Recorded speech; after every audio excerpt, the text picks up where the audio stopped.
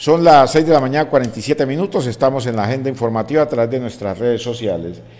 Y el registrador nacional Alexander Vega y la cúpula militar y el ministro de la Defensa realizaron una reunión como un comité de seguimiento electoral para el fin de analizar la situación de orden público en los diferentes departamentos.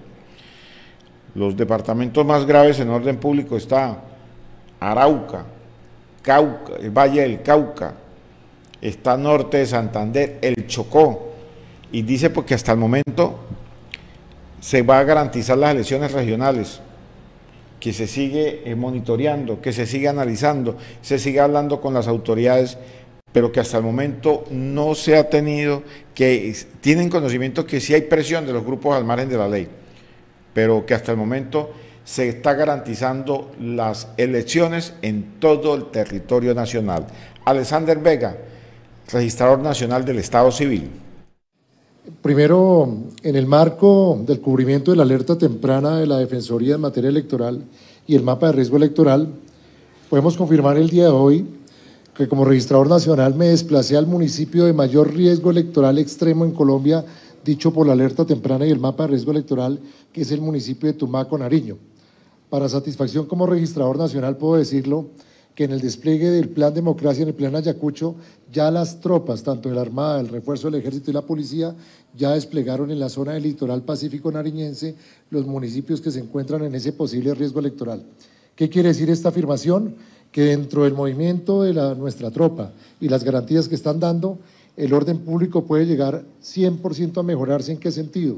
En que con la presencia de la tropa, como en el municipio de Tumaco, dicho por los candidatos, han podido hacer y ejercer libremente su ejercicio proselitista. No han dado amenazas en el municipio de Tumaco a los candidatos y reiteramos, como lo hicimos el día de hoy, plena confianza en nuestras fuerzas militares de policía y la decisión del gobierno de cubrir estos municipios priorizados con fuerza pública. Problemas que hay en este momento y que hemos puesto en consideración. Teniendo la plena confianza del orden público, suceden dos momentos importantes que tenemos que denunciar y que obviamente el gobierno nacional va a colaborar. El constreñimiento al elector y los posibles candidatos de estos grupos al margen de la ley. Confiamos plenamente que con la Fiscalía vamos a entrar a investigar directamente la Fiscalía la información que tenemos que ya hay candidatos que están recibiendo esta clase de apoyos. Entonces, en dos líneas de acción dar tranquilidad de que el plan democracia se está cumpliendo y el plan Ayacucho por parte del gobierno, las fuerzas militares y de policía, con el reforzamiento tanto operacional como de las fuerzas presentes en el territorio. Para la registraduría es muy importante esto por una sencilla razón, el traslado de los kits electorales y las mesas de votación. A la fecha descartamos hasta el día de hoy trasladar puestos y mesas de votación en materia de orden público y esperamos que hasta el 29 de octubre siga ese plan democracia, ese plan Ayacucho avanzando en todo el territorio nacional y en especial en los municipios que fueron priorizados tanto por la Defensoría del Pueblo como nuestras Fuerzas Armadas en el mapa de riesgo electoral.